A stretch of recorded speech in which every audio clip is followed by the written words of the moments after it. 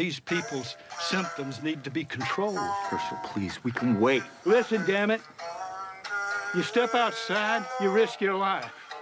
You take a drink of water, you risk your life. And nowadays you breathe, and you risk your life.